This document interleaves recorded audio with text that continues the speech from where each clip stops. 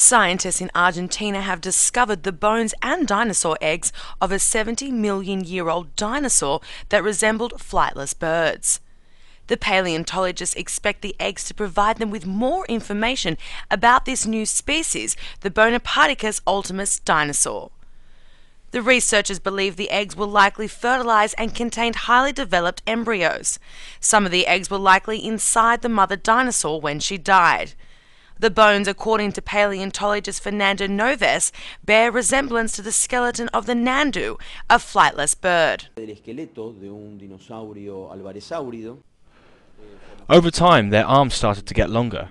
Their legs were specially adapted to run more agilely and to move at high speeds.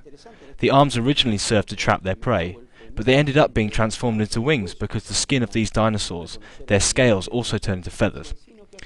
These long arms become covered in feathers, and so we have a continuation in the story of this lineage. The fall of the meteorite extinguished many dinosaurs, but a group of carnivorous dinosaurs with extended arms and feathered bodies that we call birds survived until today.